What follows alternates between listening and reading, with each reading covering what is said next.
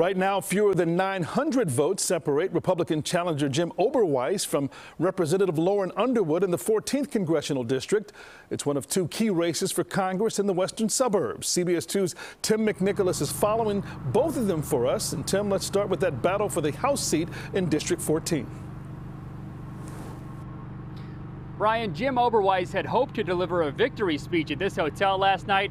Here we are the next morning, and it's still too close to call. I just talked to Oberweis. He tells me he's not ready for a victory speech or a concession speech, but he is cautiously optimistic.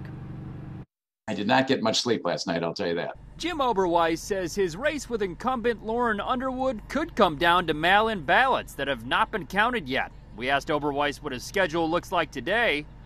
Trying to uh, clean up uh, signs that are outstanding and uh, uh put together a plan to make sure that uh, uh, if there's a recount, that it's done fairly, that the ballots are protected. Is that something you might be expecting, a recount?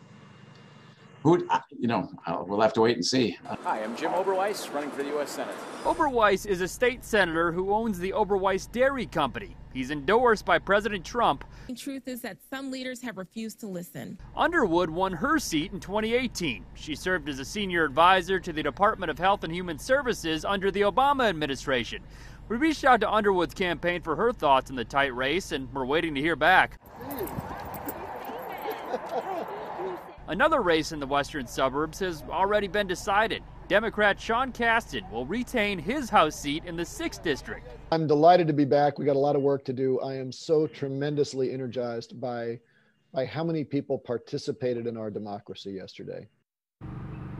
We also just got a statement from Casten's opponent, Jeanne Ives. She says her team fought hard, but in the end, the power of the opposition was too great. As for the race here in the 14th, we will keep an eye on that tally. Mail-in ballots can be counted for the next two weeks as long as they were postmarked by Election Day. Live in Aurora, Tim McNicholas, CBS 2 News.